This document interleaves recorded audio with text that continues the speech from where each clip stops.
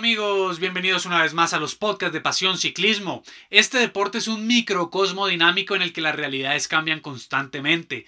Nada se puede dar por sentado ni como seguro. Ayer les comentábamos sobre el nutrido calendario de Tom Dumoulin para este 2021 y hoy nos despertamos con el notición de que el neerlandés se retira temporalmente del ciclismo.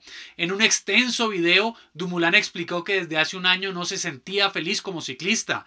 Durante su vida profesional siempre intentó hacer feliz a todos los que le rodeaban, se preocupaba por lo que la gente decía de él y nunca se sentó a pensar en qué era realmente lo que él quería hacer. La presión generada por el equipo, los patrocinadores, sus compañeros y hasta los aficionados fue aumentando hasta tal punto que lo llevó a tomar esta drástica decisión. Así pues, Tom no competirá por el momento y se tomará una licencia sin sueldo, algo que acordó con el equipo, por lo que ha abandonado el campamento de concentración con efecto inmediato.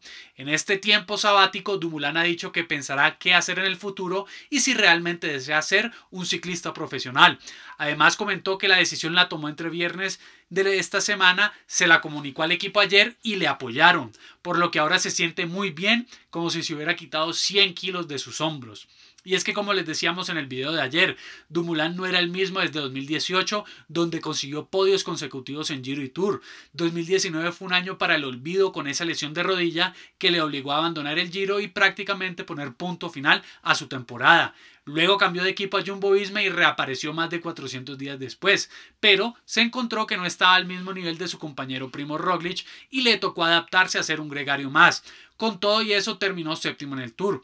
Este año pusimos la pregunta de si sería de nuevo un gregario para los otros líderes del equipo y si él estaría de acuerdo con esta situación.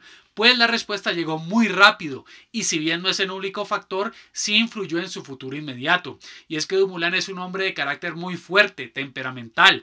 Se ha visto en múltiples ocasiones que si las cosas no le salían como había planeado, perdía su tranquilidad y mostraba públicamente su disgusto. Por otro lado, en 2015 ya demostró que podía apuntarle a las generales de grandes vueltas y en 2017 consiguió su triunfo en el Giro de Italia.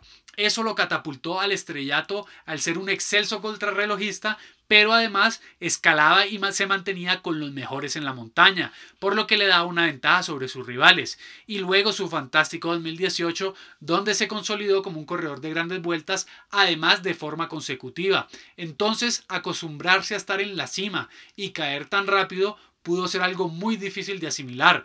Verse como líder, capaz de disputar la general de varias carreras y luego tener que hacerse la idea de trabajar para alguien más y no por los objetivos propios. Eso debe ser una gran presión difícil de manejar, pero principalmente una presión autoimpuesta, de querer siempre hacer las cosas bien, pero ver que no salen como uno quiere. No obstante, la ventaja de Dumoulin es que ha contado con la bendición del equipo y su apoyo, por lo que no muchas personas en el mundo laboral pueden decidir dejar tirado, entre comillas, su trabajo y saber que al final podrán regresar si quieren.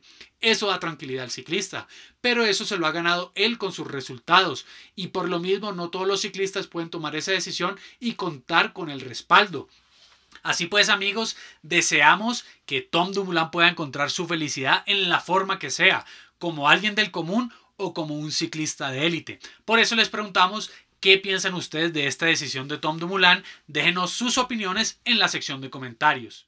Amigos, les queremos contar una muy buena noticia y es que hemos activado la función de miembros del canal. Allí, por tan solo 4 mil pesos al mes, estarán apoyándonos directamente con un pequeño aporte monetario. Como reconocimiento tendrán una insignia al lado de su nombre y también podrán usar emojis en los chats en vivo. Igualmente su nombre saldrá en cada video como agradecimiento por ayudarnos. Pero lo más importante que queremos dejar muy claro es que todo nuestro contenido seguirá siendo completamente gratis para todos. Eso nunca cambiará. Por último, agradecemos a los miembros de nuestro canal por su aporte monetario y por el apoyo incondicional. Apreciamos mucho su esfuerzo y por eso nos esforzamos nosotros más para generar contenido de calidad. Igualmente a todos los que sintonizan, muchas gracias y los esperamos en una próxima oportunidad.